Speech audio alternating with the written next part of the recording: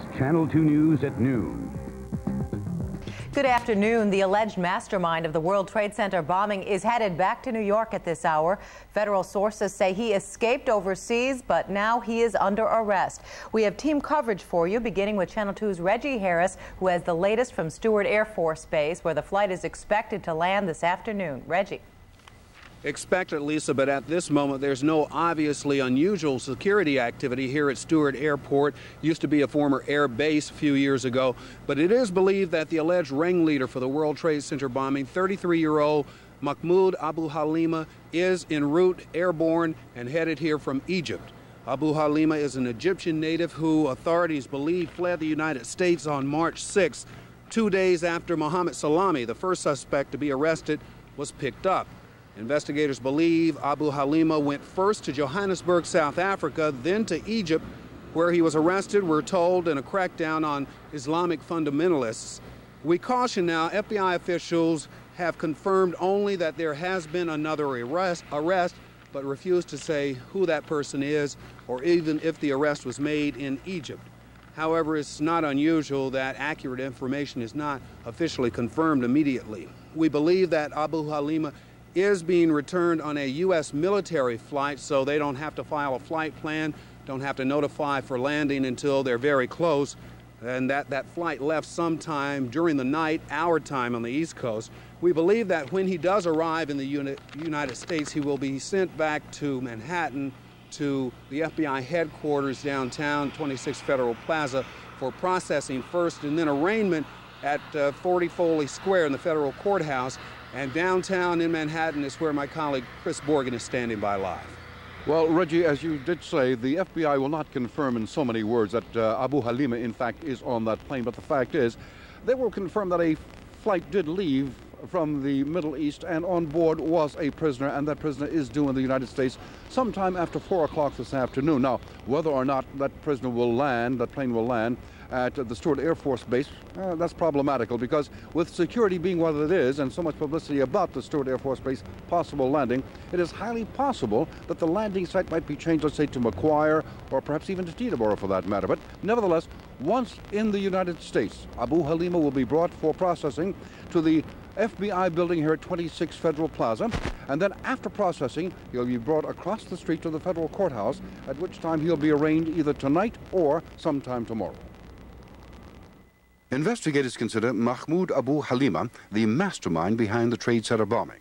Witnesses have identified the 33-year-old Egyptian-born Brooklyn cab driver as a constant visitor to the rented locker in Jersey City where the explosives were stored and where investigators say suspect Nidal Ayad, the 23-year-old chemical engineer, helped to assemble the bomb.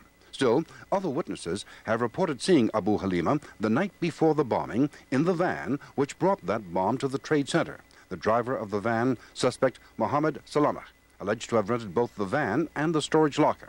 Now, Abu Halima, like suspects Salama and Ayad, are said to be associates of Sheikh Omar Abdel Rahman, the radical spiritual leader of the Masjid al-Salam Mosque in Jersey City.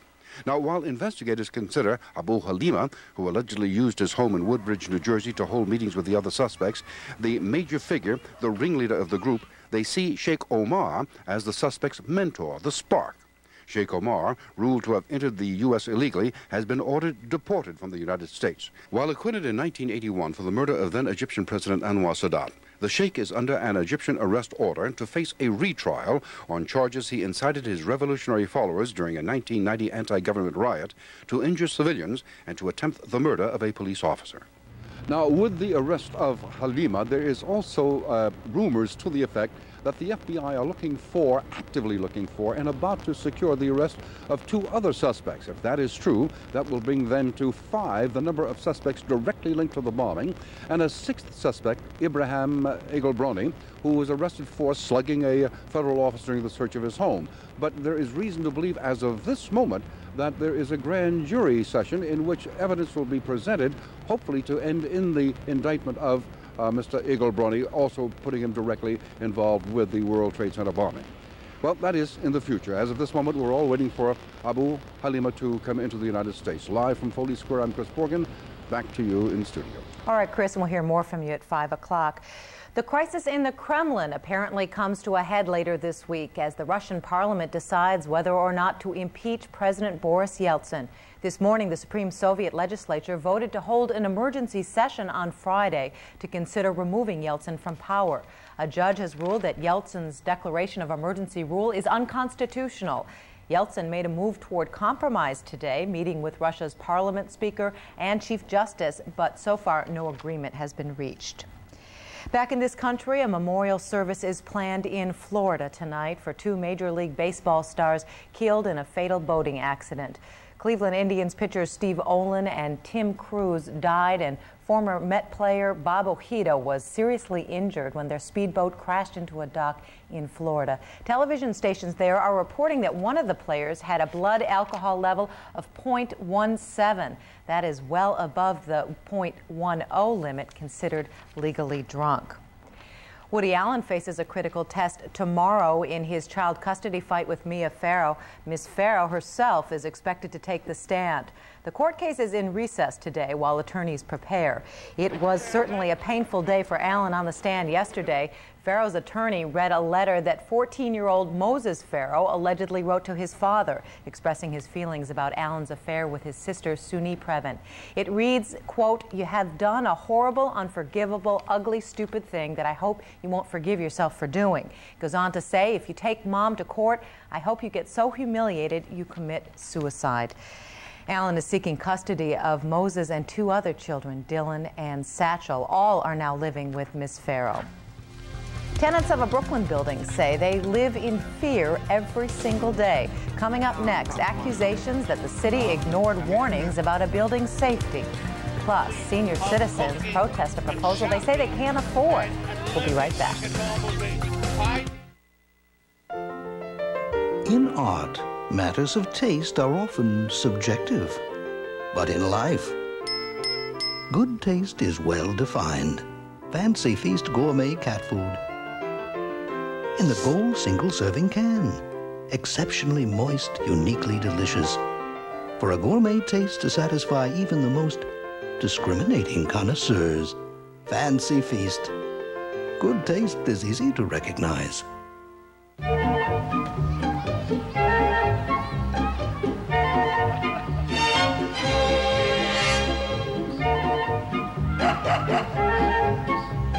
New York Lotto. Hey, you never know.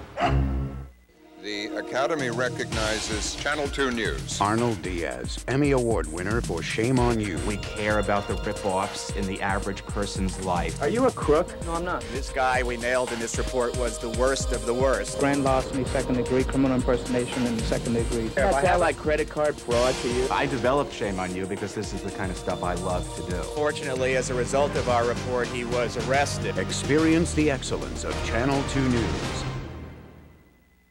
Dear Nicole, having a fantastic vacation in Greece. Thanks to Homeric Tours. Homeric's all inclusive package was an excellent choice.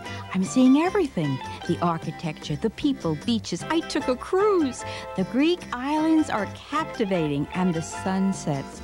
Now I know why America's number one choice to Greece is Homeric Tours. Love me. Call Homeric at 1 800 223 5570 and discover Greece. Homeowners, if you're looking for the easy way to get a home equity credit line account at rates as low as this, listen to Bud Bash. We're shooting for a new goal $100 million in new loans. That means we'll be making loans to a lot of people, people with good credit, people who've had credit problems, even people who've had trouble getting a loan in the past. Call Personal Mortgage Corporation. When it comes to second mortgages, we approve, and with $100 million to lend, the faster the better. It's the best thing I ever tasted. Really. Better than anything. Go ahead. Name one thing better than those cookies. See? You can't. A cookie like this could only be Entenmann's.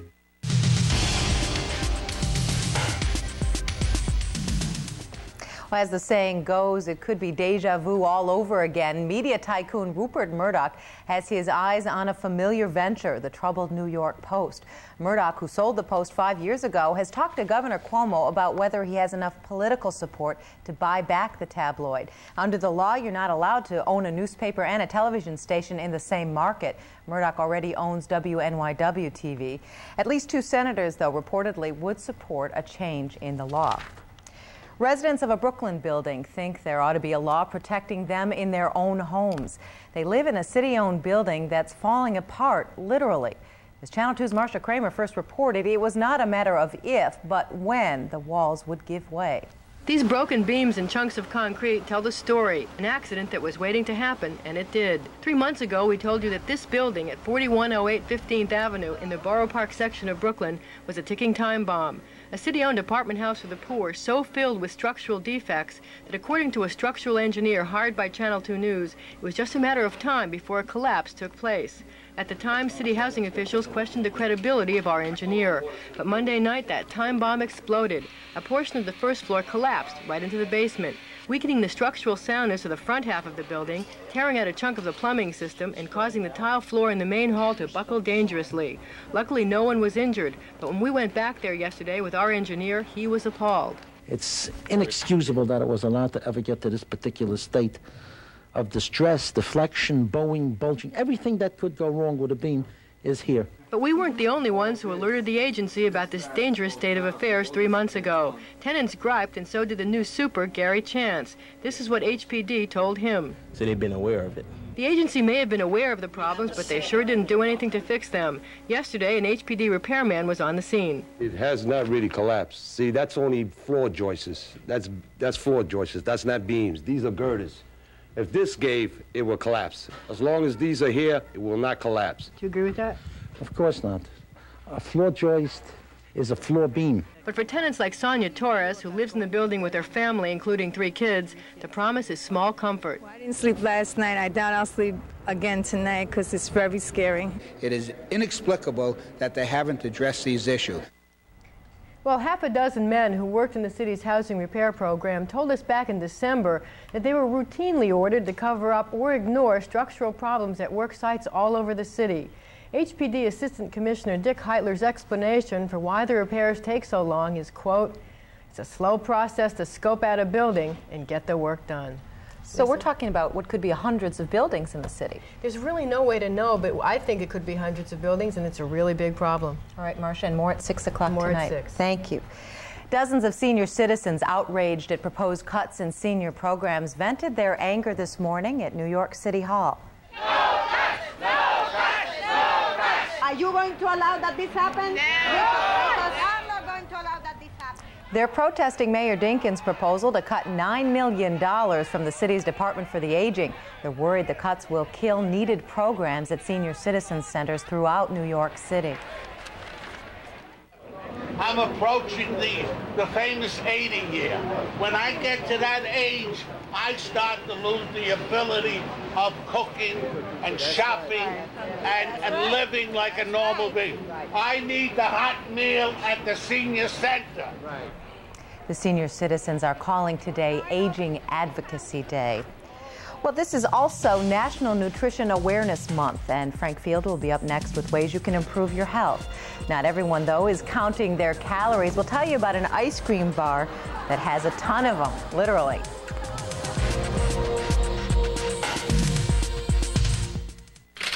Dear Midas, after getting an outrageous estimate at my dealer, I came back to your shop.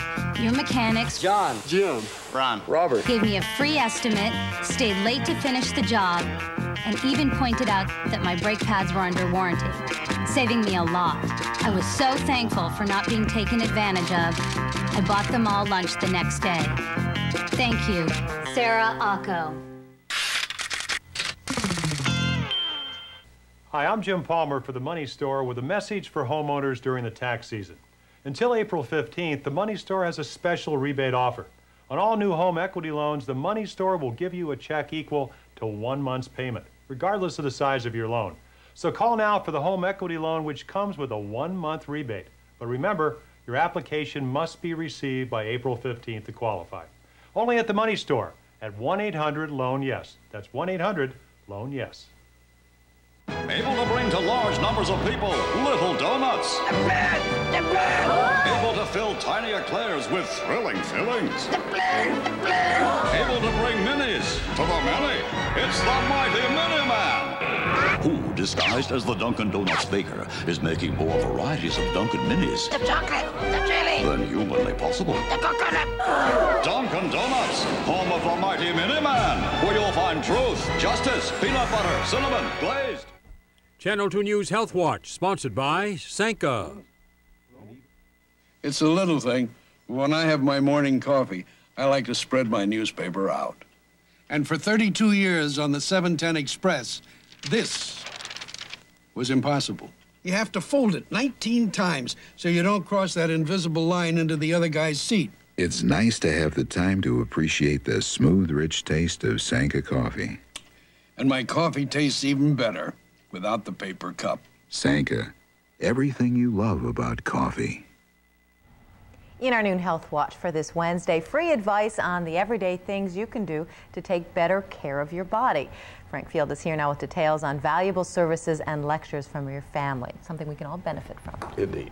Uh, this is National Nutrition Awareness Month, and Lisa mentioned that before. Many of our local hospitals are holding wonderful health fairs and nutrition expos. Now, here in the city, for example, a free all-day nutrition exposition features food, fitness, and fun, and it's going to be held tomorrow in Flushing.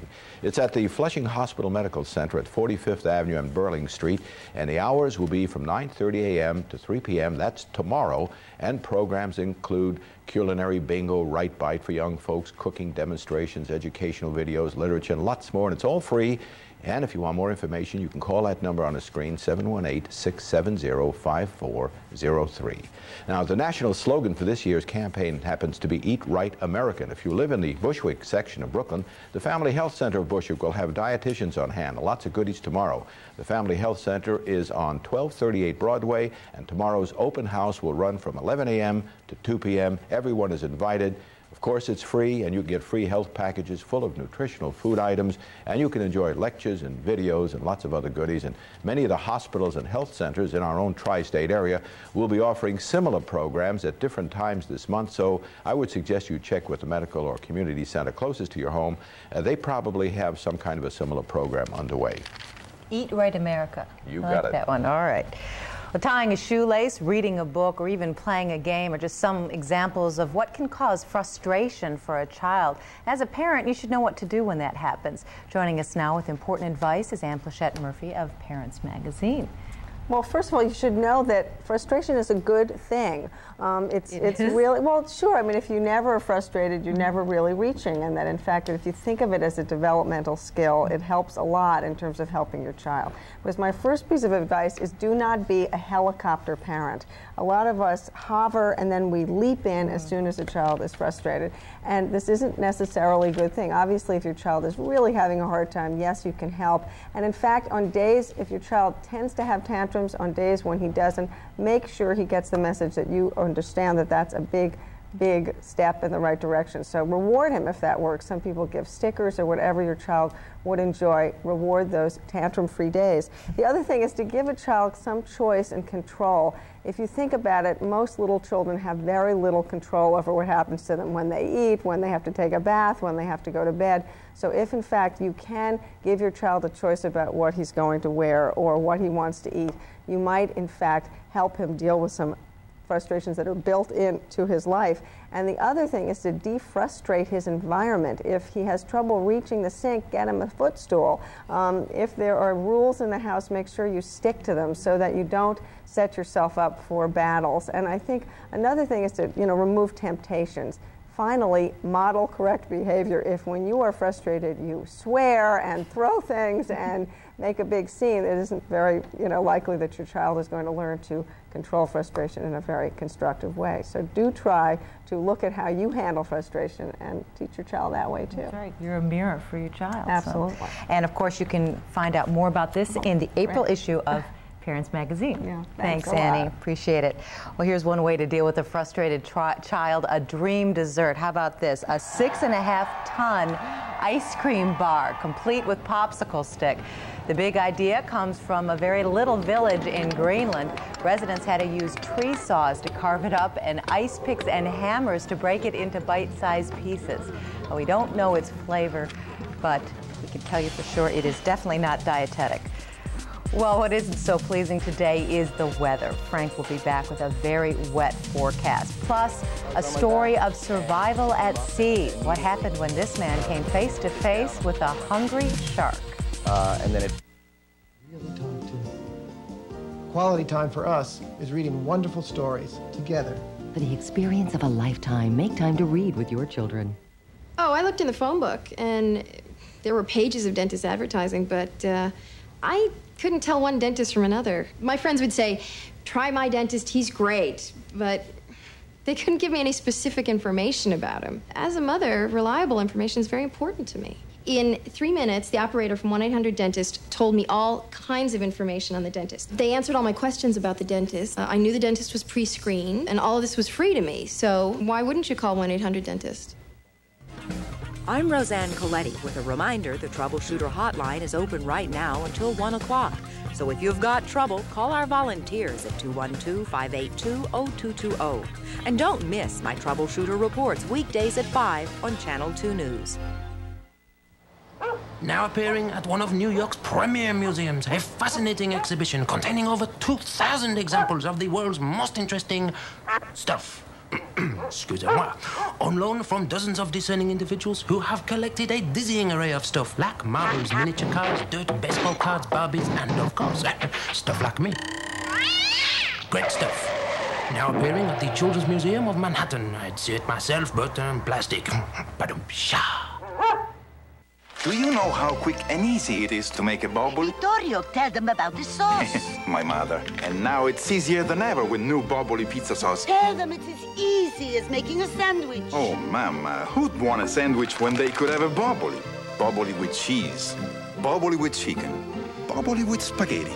They're all so easy to make with new Boboli pizza sauce. Look for it on the Boboli rack like this. And remember, it's more than a pizza. It's a Boboli.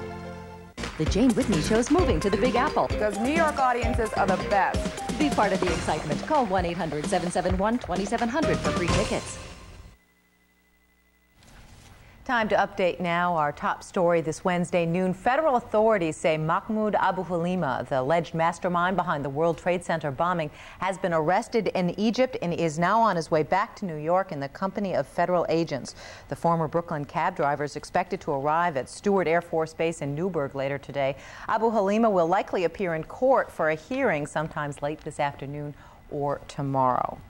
A Florida man is telling an amazing story of survival this noon after a close encounter with a shark. Ken Danowitz is hospitalized with several cuts and shark bites. He says he was swimming in the ocean off West Palm Beach close to shore when the shark attacked. I was on my back, and it just came up and immediately uh, bit down on the front of my feet. Uh, and then it bit again, and it started to thrash, and it, then it's when it started to roll me. And that was it. It happened very, very fast. Well, doctors say the tendons in Danowitz's feet were cut and he'll need more surgery to repair damage to his bones and his skin. That is one lucky guy. Yep, he is. We're not so lucky. Well, in a way, if you look at the bright side, uh, the rain that's falling out there has Yes. been washing away that stuff Snow on the ground. and that- flowers, spring flowers. Spring flowers, yeah, they're right around the corner. A little on the cool side, though. It's 38 degrees. We do expect temperatures to inch up slowly. Uh, not much, though. It's uh, cloudy and the humidity is 100%. And uh, the rain that's been falling at some areas has been quite heavy, and that means local flooding uh, will occur during the day. And we have flood watches and flood warnings for many parts of the area north and west of the city uh, where there are streams. And still to come is this little low that you see that we pointed out here yesterday. Well, it's pretty much close to where we left it yesterday. It's just drifting. It's not really moving. And it'll be circling round and round for the next couple of days. And you know what that means, right? Yes, I do. Thank you. Uh, we have that mild air uh, uh, moving up out off the ocean and the moisture. And uh, with that, we have the kind of drizzly and dreary weather that you expect with that. Radar itself shows the heaviest rainfall has now moved off to the east. So There's a break out there, not in the way of clouds. It'll stay cloudy all day, and we'll have light rain during the day too. Uh, so you'll have to take the umbrella with you. Uh, the flood watch continues in most areas, and warnings in some areas. And then this light rain and fog and drizzle will persist right through tonight. Visibilities will low. If you're traveling. Uh, over the over the morning next 24 hours. You're going to have some problems with the airports because of visibility and fog, especially during the morning. But uh, note that temperatures will gradually inch their way back to normal. The normal high should be in the uh, low 50s, so maybe we'll get there, but it's going to be kind of wet. Keep those umbrellas. All right, thanks, Frank. Coming up on Geraldo this afternoon, ways to spice up your sex life. The helpful hints come from guests ranging from lingerie manufacturers to Jessica Hahn, who says she is both sexy and devout. You cannot tell the Jessica Hahn story without talking about my faith, which is still strong and it exists. Don't you think it's somewhat, at least, maybe ironic is the word, that, uh, that a woman who was thrust into notoriety by a rape at the hands of a cleric would do a sex fantasy video? We all have lust, we all have love, we all have frustration and hurt and pain. Is lingerie a kind of antidote to the blues? It's a state of mind, and I think every woman, first and foremost, has to feel sexy. Just as we, just as we saw before in the ring, little Valentine baby doll. Well, you can see more of Geraldo here on Channel 2 News at 4 o'clock today. That's Channel 2 News at noon for this Wednesday. I'm Lisa Rudolph. Dana Tyler will be along for later newscasts. Until then, have a great day.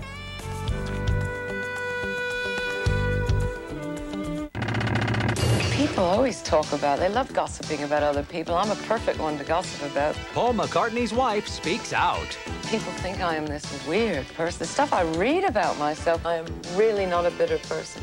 Don't blame me. Then. In my opinion, he's a cold-blooded killer. When she had to choose between her two boyfriends, the decision she made killed her.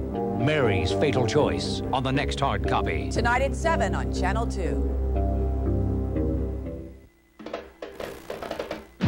It's Macy's spectacular one-day sale Wednesday with